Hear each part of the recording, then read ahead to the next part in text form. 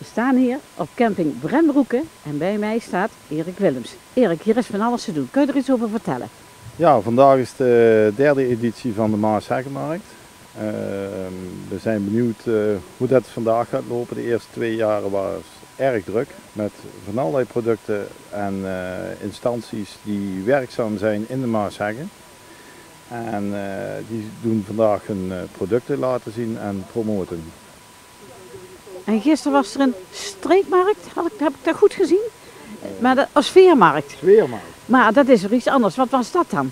Nou, wij kregen heel vaak de vraag van mogen bij jullie op de Maasheggenmarkt komen staan. En uh, er waren diverse ondernemers die dus niet werkzaam waren in de Maasheggen. Dat wij zeiden we gaan een uh, sfeermarkt ernaast organiseren. En uh, dat hebben we dus op, op zaterdag gedaan. Maar door diverse activiteiten in het land Verkuik dit weekend waren er toch weinig mensen die tijd hadden om uiteindelijk bij ons op de sfeermarkt te komen. Dus uh, toen waren er eigenlijk maar iets van uh, 8, 9 kraampjes. Dus wat dat betreft voor het eerste jaar voldoende. Maar we gaan wel kijken hoe dat we volgend jaar hem vol kunnen krijgen. Dat ook wel interessant wordt voor de mensen. Misschien is het dan wel leuk om alles op één dag te doen. Dan heb je, je hebt het terrein is groot genoeg naar mijn idee.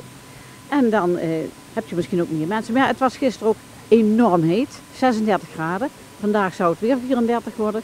Dus het is nog maar de vraag of er nog meer mensen komen. Ja, bezoekers is dan vers 2 en uh, wij verwachten uh, qua aantallen niet de aantallen te halen die we andere jaren ook hebben gehaald. Nee. Maar uh, we verwachten toch wel wat mensen die speciaal voor de Maasheggenmarkt komen. Of met de auto of met de fiets. Nou ja, dat geloof ik ook wel hoor. Want er zijn best wel mensen die heel veel interesse hebben. En zeker mensen van buitenaf die hier op een camping liggen. Of op een andere camping in de buurt.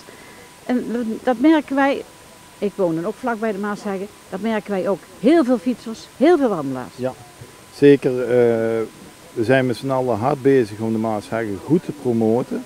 Alleen het kan natuurlijk nog altijd beter om... Ja het moet hier natuurlijk geen Veluwe worden, maar er zit wel een stukje verschil tussen eh, de Veluwe en eh, de Maasheggen nog. Dus er is ruimte genoeg nog om te fietsen en te wandelen en te genieten van het prachtige gebied. Ja, de Veluwe is gewoon wat groter. Maasheggen is best wel groot, maar lang, niet ja. breed. Nee, het is een relatief smal gebied en dat maakt het natuurlijk ook weer mooi dat mensen, en zeker doordat Boksmeer ertussenin ligt, toch een beetje de Maasheggen Zuid en de Maasheggen Noord ervaren twee hele verschillende gebieden, maar wel ja, toch samen de Maasheggen met dezelfde heggen en uh, ja, gebied uh, wat dat betreft. Wat is dan het verschil tussen Noord en Zuid?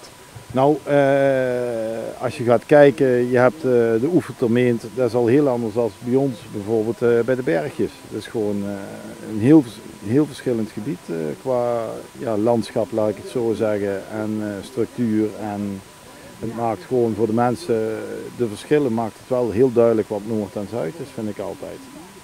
Ja, dat klopt. Wel, de meent is zeg maar wat kaler en hier ja. is meer, aan deze kant is meer bos. Ja. En daarbij, de weilanden die erin liggen zijn toch anders als ja, de bergjes, heuvelachtig in Oefeld en door de afgravingen dan in het verleden. Ja. Dat is toch een heel ander gebied als hier. vroeger werd er klei gegraven voor de steenfabrieken, klopt dat? Ja, wat, uh, wat ik uh, gezien heb tijdens, even goed zeggen, de cursus ambassadeur Maasheggen. zijn we daar ook aan het rondlopen geweest en hebben ze ons ook precies laten zien waar dat afgegraven is en hoe dat het bijvoorbeeld de, me de meent ontstaan is. En dat is best wel heel interessant om die achtergrond te weten, al is het dan aan de andere kant. Ja. Kijk, hier is het natuurlijk ook prachtig om de geschiedenis te weten van de hele omgeving, maar daar ook. Want het hoort toch tot één stuk uh, Maasheggen. Ja. Dus. Erik, hartelijk bedankt. Wij kijken nog even rond. Het is nog niet druk, maar het is ook nog vroeg. Dus wij kijken even rond.